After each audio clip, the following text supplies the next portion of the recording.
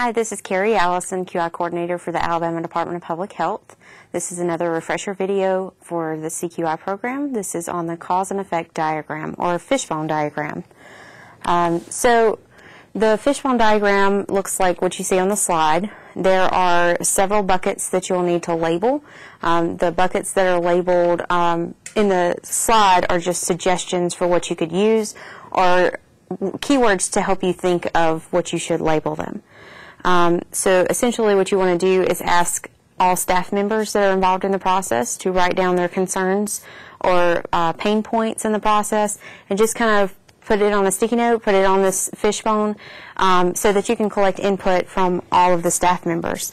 So we're still in the solve phase and we're trying to understand what the issues are that various people are um, experiencing as they go through the process.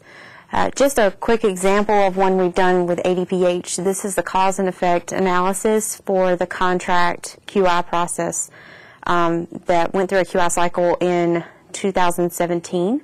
Um, and as you can see, the the entire fishbone is covered up. You can't see the fishbone anymore um, because we had a lot of really great feedback in the short two weeks that we requested input from our staff.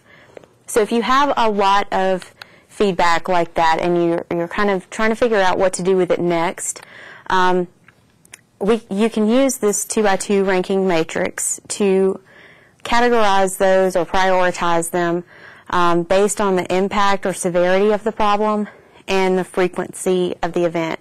Now remember when you use these two by twos that you need to set your scale, so set your middle point, um, and kind of define what is high frequency and low frequency, what is low impact and what is high impact to you, um, so that you can then start trying to divide up those issues that you've identified through your cause and effect, and you can focus on the issues that land in box one first, uh, as you move forward. And in the next refresher, we'll talk about what to do with those. So this concludes the CQI refresher on the cause and effect um, analysis.